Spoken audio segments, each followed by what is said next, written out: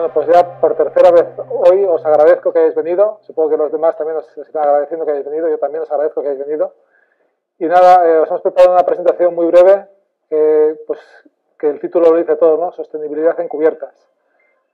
Cubiertas sostenibles, esta palabra que está ahora tan, tan de moda, ¿no? Y que pues detrás de ella, pues vamos a ver qué hay. Qué hay en cuanto, en cuanto sobre todo desde el punto de vista de la, de la normativa. ¿Qué normativas respaldan o, o refrendan que realmente las soluciones son sostenibles. ¿no? Hay mucha tendencia a que ahora todo es verde, todo es sostenible, todo es eco, pero hay partes que son huecas y otras partes pues, que tienen normativa que lo, que lo refrenda. Y ahora lo vamos a ver, lo vamos a ver aquí.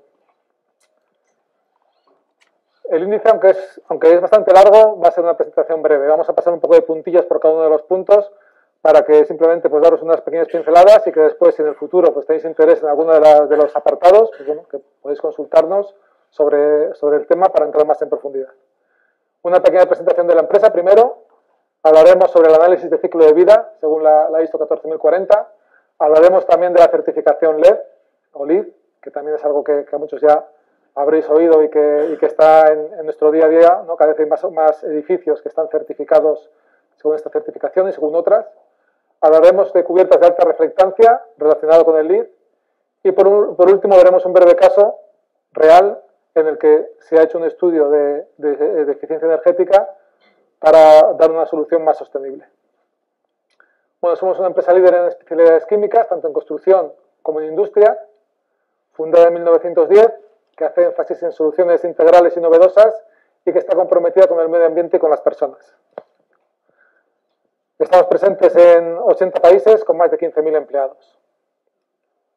Y tenemos ya 107 años de historia.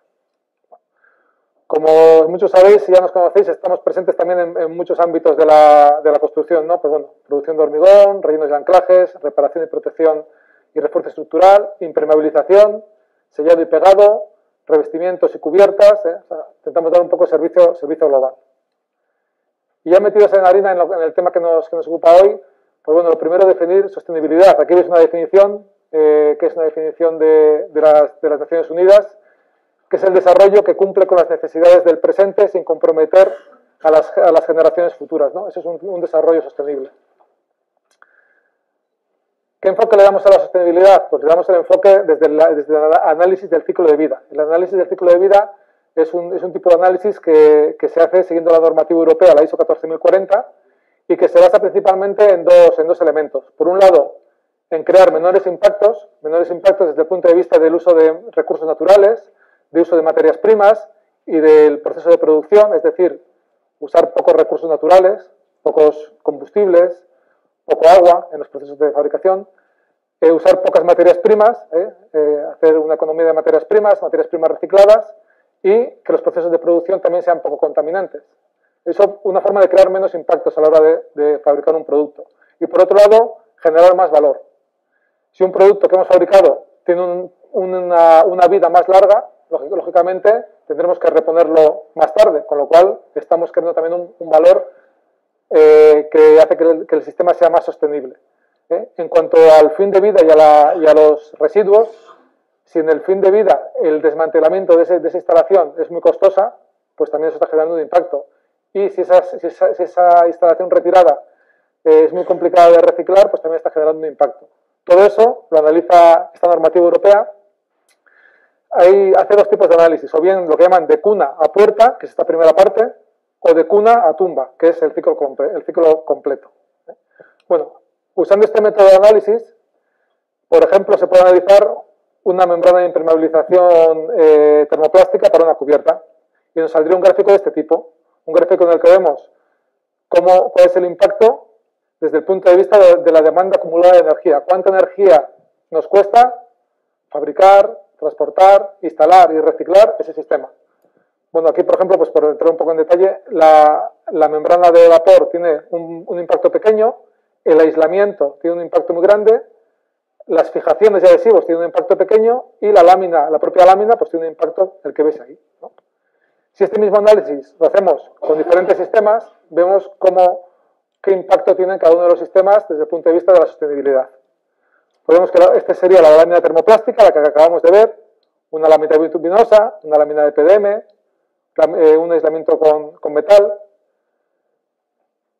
Esto en cuanto a las membranas fijadas mecánicamente. Si vamos a las membranas adheridas, pues veríamos un sistema, una, una evolución parecida. O si vamos a las membranas eh, para cubiertas ajardinadas, en las que veis, que se añade esta última parte verde, ¿eh? que es adicional, pues vemos también el análisis. Y en ese tipo de análisis podemos saber cuando una solución es más o menos sostenible, pero ya os digo, desde el punto de vista de una normativa a nivel europeo y no desde un punto de vista, digamos, de, poner etiquetas de color verde o este tipo de cosas, sino un análisis serio. Eh, como cosas pues bueno, pues un poco para, para el análisis. Veis que el color rojo siempre es el mismo, porque el aislamiento siempre es el mismo en todos los sistemas, para un mismo grado de aislamiento térmico, lógicamente.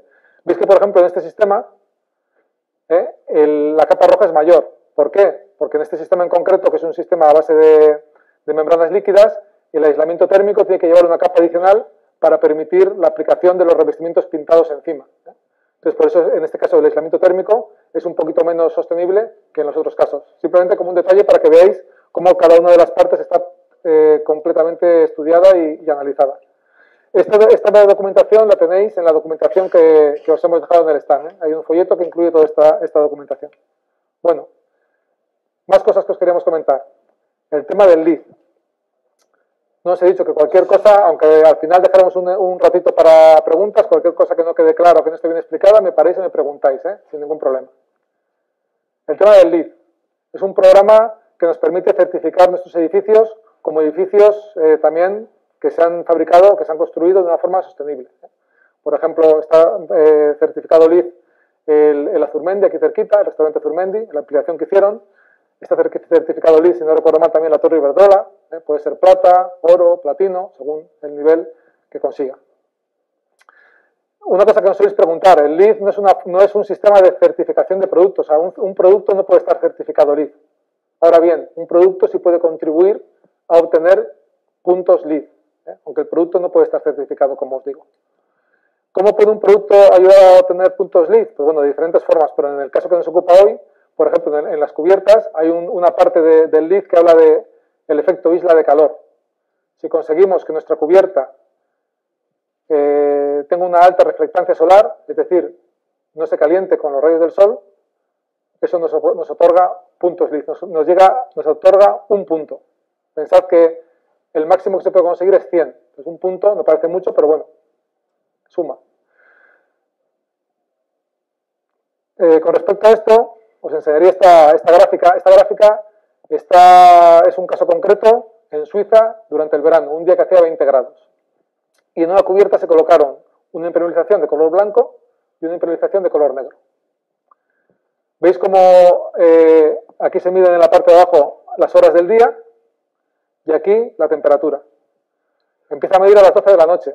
El color blanco y el color negro están a la misma temperatura. En cuanto llegan las 8 de la mañana, el color blanco sube de temperatura lentamente, el color negro sube de una forma exponencial. Esto reflejado desde el blanco hasta el negro, pero con otros tonos grises por el medio, vemos que la diferencia pasa de 40 grados hasta 80 grados. Cuanto mayor es la reflectancia solar de una cubierta, más fría estará la membrana. Esto es algo que parece una obviedad, ¿no? Que esto se sabe de, toda la vida, ¿no? Pero bueno, seguimos impermeabilizando las cubiertas muchas veces con, con de color negro. Hay muchos sitios, por ejemplo, en, Nueva York hay una iniciativa de que todas las rehabilitaciones de cubiertas se está intentando hacer en colores blancos. ¿Por qué? Porque es mucho más eficiente energéticamente. Este tipo de, cuestiones, aunque ya os digo que parece una cosa muy, muy sencilla, detrás tiene algo más de ciencia. ¿Por qué? Porque cuando hablamos de membranas de alta reflectancia solar, no solo hablamos de que sean de color blanco. Ya si son de color blanco, tenemos una reflectancia buena. Pero la mejor reflectancia solar se consigue con productos que tienen tratamientos especiales que, eh, reflejan el sol pues, de una forma eh, muy superior. De hecho, en este tipo de cubiertas es imposible subir si no llevas gafas de sol puestas. El, efecto de, la reflexión del sol es muy fuerte y os digo, sin gafas de sol no se puede estar, hay que tener los ojos cerrados. Este tipo de láminas, además, lo que, consiguen es que no solo son blancas el primer día, porque si tenemos una cubierta que es blanca y al cabo de un año está gris, por el efecto de la suciedad, de la lluvia, del polvo, no hemos hecho nada. Son láminas que llevan tratamientos especiales, tratamientos de lacas, eh, que las hacen fácilmente limpiables por el agua de lluvia con lo cual mantienen unas muy altas propiedades de reflectancia solar y las mantienen a lo largo del tiempo. Con este tipo de membranas, como os digo, de alta reflectancia solar, se pueden conseguir créditos cuando un edificio se certifica como LEED. Adicionalmente, hay, revestimientos, como los que tenemos eh, en, el, stand ahí expuestos, que además de, tener estas características, llevan incorporadas eh, unas microesferas que eh, hacen que, el aislamiento térmico sea, sea, todavía mayor. Estas microesferas, que van incluidas en el propio producto, llevan un gas en el interior. Ese gas, por efecto del calor, expande, con lo cual las microesferas aumentan su volumen. De esa forma, se consigue que ese, revestimiento, que es un revestimiento de impermeabilización, que su principal función es la de ser un revestimiento de impermeabilización, tenga adicionalmente una función de aislamiento térmico. Ya os digo, lo podéis ver luego en el stand, si no lo habéis visto hasta ahora, y veréis cómo hay, un, termómetro en el que mide la temperatura, y esa temperatura del revestimiento normal al revestimiento con el tratamiento de microesferas viene a ser una diferencia de unos 13 grados. Eso es una, una diferencia de la temperatura del propio revestimiento. No quiere decir que esos 13 grados sea la diferencia de temperatura que vaya, a haber, que vaya a haber dentro de casa. Dentro de casa la diferencia será menor, pero en cualquier caso sí que vamos a notar una, mejora en cuanto al, a sobre todo en este caso, al ahorro de, aire acondicionado, ¿eh? sobre todo para azoteas o zonas en las, que, sufren mucho durante el verano. Más cuestiones que contempla el LEED, pues contempla también la obtención de un punto si colocamos membranas, eh, perdón, si colocamos cubiertas ajardinadas. ¿eh? Entonces también la colocación de cubiertas ajardinadas, lógicamente con membranas de impermeabilización apropiadas para este uso, pues nos otorga créditos. todas estas soluciones vienen refrendadas por una serie de documentación que respalda el cumplimiento del LIC. Y por último quería simplemente hablaros de un caso de estudio de sostenibilidad un caso de estudio en el que en una, industria de, Levante estaba previsto colocar un sistema de impermeabilización con membrana termoplástica en un color beige, un color, un color clarito. Y se plantearon, en vez de colocarla en color beige, en color beige, colocarla de alta reflectancia. Y quisieron saber qué ahorro les podía aportar eso. Nosotros tenemos un departamento de sostenibilidad que se encarga de hacer este tipo de estudios. Se hizo un estudio personalizado para esta empresa y bueno, voy a ver un poquito los, los resultados brevemente. Una planta de procesado de fruta en Castellón, 11.000 metros cuadrados, y está previsto, como os digo, una lámina de color beige. Se hizo un análisis basado en, la, demanda energética y se compararon los dos sistemas. Se hizo un, periodo estimado de vida de 20 años, porque era la, garantía que tenía en este caso la membrana, entonces bueno, se, se hizo el estudio eh, dentro del periodo de garantía del producto y se hizo mediante el análisis de cuna tumba, es decir, lo que os decía al principio, desde, el análisis, desde la obtención de materias primas hasta, hasta, hasta los residuos. Y se vio que el ahorro en energía era de unos 110 megavatios hora al año, en ese caso concreto para esa empresa concreta. Y además, desde el punto de vista medioambiental, había un ahorro de emisiones ¿eh? de unas 30 toneladas de CO2 equivalentes al año. Entonces, esta empresa decidió que aunque la membrana de alta reflectancia pues, tenía un sobrecoste sobre la solución que tenían prevista, decidió cometer la obra porque vieron que el ahorro iba a ser, iba a ser grande y que en unos pocos años iban a rentabilizar esa inversión. Entonces, bueno, eh, como, idea general, os diría dos cosas. Uno, la sostenibilidad, eh, hay formas de medirla, hay normativa para medirla, y cuando queráis realmente tener una solución sostenible desde un punto de vista medioambiental, desde un punto de vista de eficiencia energética, pues buscar cosas que lo, que lo refrenden. Y dos, el tema de la, de la alta reflectancia solar. ¿eh? Pensad que es un, cambio de chip que, cada vez está yendo a más. Hace poco en, Vitoria han hecho el, centro logístico de Mercadona. Eran 40.000 o 50.000 metros cuadrados de cubierta. Lo han hecho con una, con una membrana de alta reflectancia. ¿eh? También. ¿Por qué? Porque las, principalmente las propiedades son las que valoran este tipo de cuestiones, ¿no? La propiedad que va a tener que mantener sus instalaciones, que va a tener que pagar la calefacción, que pagar el aire acondicionado durante muchos años, es la que, la que valora este tipo, este tipo de cuestiones. Entonces, principalmente estas dos cuestiones, el tema de la normativa y el tema de la, de alta reflectancia.